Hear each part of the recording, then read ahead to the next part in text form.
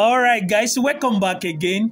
Nollywood superstar Yul Edochie has done it again. Now, guys, Yul Edochie recently came out and said that the reason why so many blessings are coming to his home right now is simply because he married a second wife, okay? Now, if you don't know the background of this story, Yul Edochie's first wife, May Edochie, got an endorsement from a cosmetic company worth millions of naira. Okay, Yul Edochie went further to say that if he did not marry a second wife, nobody would have given his first wife this endorsement worth millions of naira. Okay, so everybody was happy that May got this endorsement. So the video you're watching on the screen now is Yul Edochie's first wife, May Edochie, and this video is the day they gave her the endorsement. Okay, so you can see that um, she's a brand ambassador of this cosmetic company. And a lot of people are patronizing this particular cosmetic company because of her.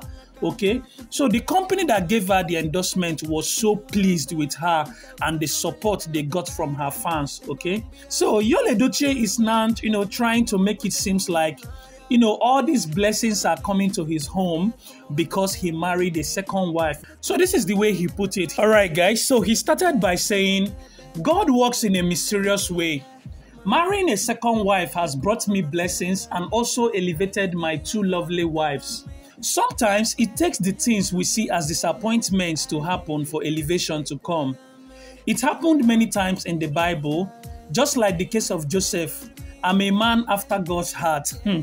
So he continued by saying, I'm like King David in the Bible. I communicate with God and he guides me every day. I wronged my wife May from the way I went about it, and I apologize to her sincerely from the bottom of my heart. But in the eyes of God, things are different. God blesses differently. His ways are not our ways. Our destiny are different. Don't be deceived by the white man's culture. Same white people that condemn polygamy are encouraging men to marry their fellow men. In the end, judgment is for God. Even white people don't understand God fully. Nobody does actually. That's why he remains God. Many great men in the Bible had one wife. Many great men in the same Bible also had more than one wife. And if that happens to your destiny, God will elevate you and elevate all that concerns you through it. Mm. All right, guys, this is quite funny. Please watch the video to the end, okay? All right, guys, so he continued by saying, My wife May just signed her first endorsement deal, something that never happened all these years. And this came from what many saw as disappointment. I have realized that God's ways are different. Many more deals will still come to her because she's a wonderful person.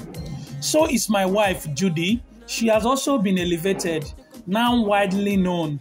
Her career is bigger with a whole lot going well for her as well. Let me not talk about myself. My stardom has tripled. My name is being mentioned in places I've never gotten before.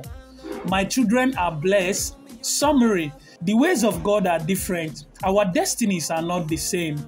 You may not understand another man's destiny, that's because you're not supposed to accept your own.